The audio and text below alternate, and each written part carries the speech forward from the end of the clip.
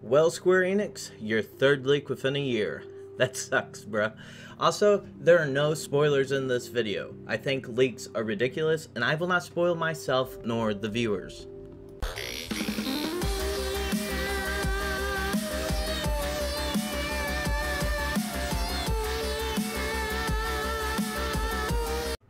Hey guys, what is going on? Narcissus here from RLP Gaming Projects. Now, I am definitely late on getting this news out, but life is crazy sometimes, and it cannot be helped. So let's get into the shit ton of Final Fantasy VII Remake news. So, a Final Fantasy VII demo was pretty well confirmed to be coming out on the PlayStation Store, according to Gamstat, who captured a snapshot or something like that. I don't know. They they seen something on the PlayStation Store about a Final Fantasy VII de demo. This is really exciting that we may see a Final Fantasy VII Remake demo before the game actually releases. I personally don't think we'll see the demo until the game releases, but I could very easily be wrong, and I really, really hope, guys, that I am. Now, next what happens does confirm the existence of the Final Fantasy VII Remake demo. It was leaked.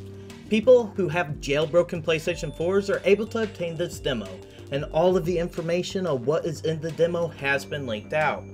The leakers went even further as to hack into the demo and pull out a lot of information pertaining to the full Final Fantasy VII Remake game. From what I know, since I'm trying to avoid spoilers the best that I can, is that the whole script for the first game in the remake and part of the second game script has been leaked along with certain character reveals. I'm just gonna say this, that leaks to this degree are ridiculous. People are so desperate for views that they post ridiculous leaks like this ruining the games for others.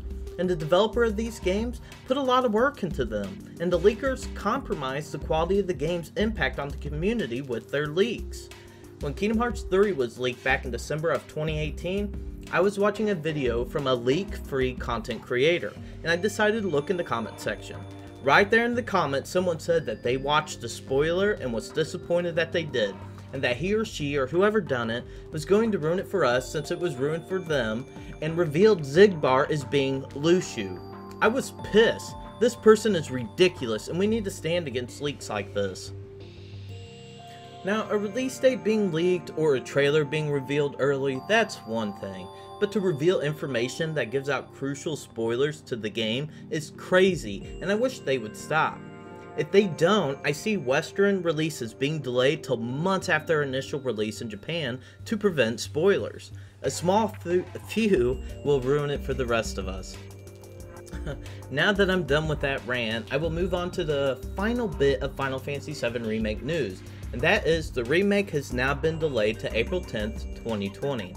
This is definitely a kick between the legs to us big Final Fantasy VII fans, but as long as it helps make the game be the best that it can be, then so be it. One month is not too much longer, so hopefully we can all survive.